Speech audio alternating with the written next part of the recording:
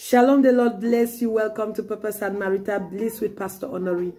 Thank you so much for subscribing. Thank you for being a part of this family. If you have not subscribed, please do subscribe and click that notification bell so that every time a new content is uploaded, you will be notified. Hallelujah. God.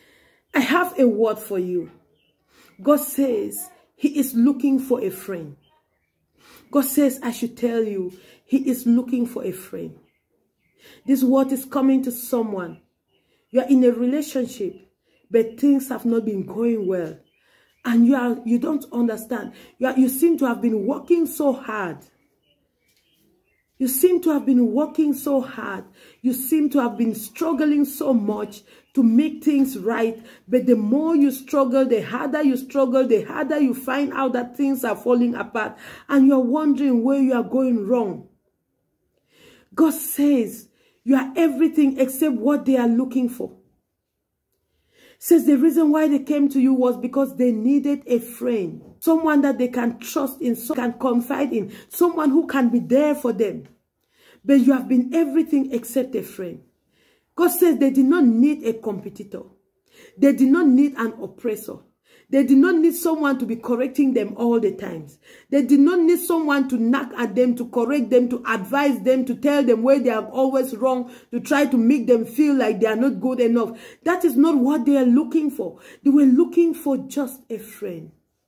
And if only they found a friend in you, that relationship would have been blossoming. It would have been blissful. If only they found a friend in you, they won't have acting the way they are acting. They won't have been considering leaving you. If only they found a friend, they would have been thinking of the next level. They would have been thinking of marriage by now.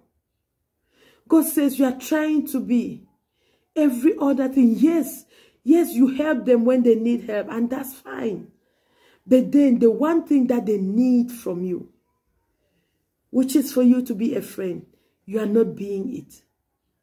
The one thing that they need from you, which is for you to be a friend, you are not being it. God says, yes, it's okay to help them, to support them. But please, be a friend that they can rely on, a friend that they can confide in, a friend that they can trust. Just that alone is what you need to take your relationship to the next level. I hope this word meets you soon enough so that you don't lose this person that you value so much, so that you don't lose them in your life. God bless you. Shalom.